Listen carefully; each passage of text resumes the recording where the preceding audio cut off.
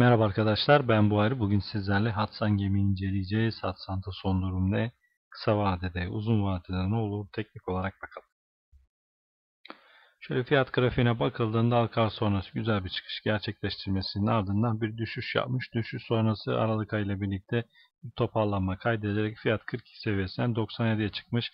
Tekrardan yeni bir zirve yapmasının ardından Burada gördüğünüz gibi net bir düşüş trendi oluşturmuş. Bu düşüş trendi aslında ana trend çizgilerinden tepki bulmuş. Tepki sonrası kısa vadeli bir yükseliş gerçekleştirmesinin ardından tekrar satışlarla ana trend çizgisinde şu an tutulmuş gözüküyor arkadaşlar. Anlıkta %1.15 pozitif bir fiyatlamayla 65-70 seviyesinde işlem görüyor. Genel olarak bakıldığında net bir düşüş trendi içerisinde ancak şurada daha bir alçalan kanal hareketi yapması durumunda burada gördüğünüz gibi bu kanalı kırması ve tepki gelmiş tekrardan trend çizgisine bir geri çekilme mevcut. Yani buradaki kırılımın devam etmesi birlikte fiyat kısada 78 bölgesine doğru bir yükseliş gerçekleştirmesi mümkün.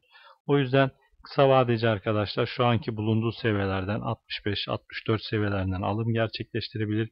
Özellikle şurayı da çizelim hemen tekrardan 60 seviyesine bir düşüş olması durumunda buraları alım fırsatı olarak değerlendirebilirsiniz. Hem uzun vade hem kısa vade içinde alım gerçekleştirebilirsiniz.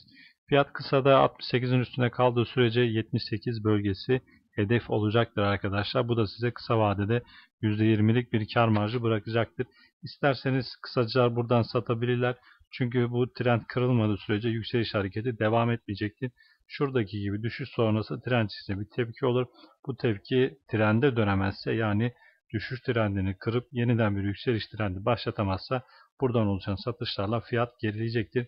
Buradan almışsınızdır. Orta ve uzun vade tutacaksanız kesinlikle 78 geçilmesi durumda. Yani buradaki trend çizgisinin üstünde günlük kapanışlar görmeniz durumda.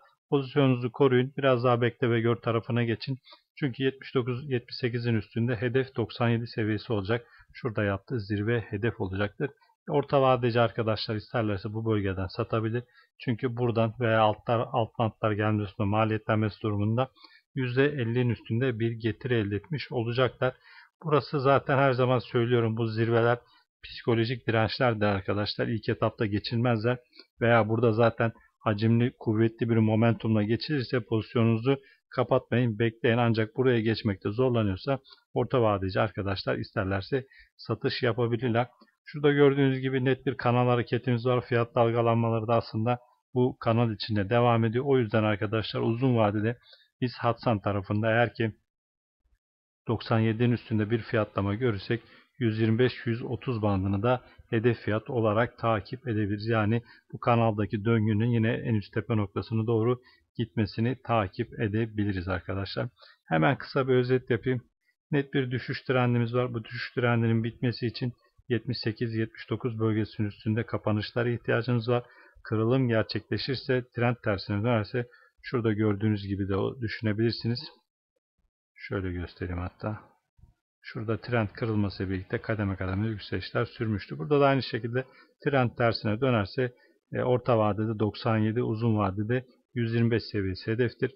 68'in üstü pozitif hedef kısa vadede 78-77 bölgesidir. Buradan kısaca arkadaşlar, alsatçı arkadaşlar bu bölgelerden satabilirler. Geri çekilmeleri de alım fırsatı olarak değerlendirebilirsiniz. Bu arada söylüyorum yine düşüş net olarak bitmedi arkadaşlar. Buradan yine kademeli alımlar yaparsanız özellikle orta ve uzun vade toplama yaparak düşünen arkadaşlar buralardan kademeli alımlar yaparlarsa yine iyi olacaktır arkadaşlar. Atsan teknik olarak bu şekilde. Cümleten bol kazançlar. Hoşçakalın.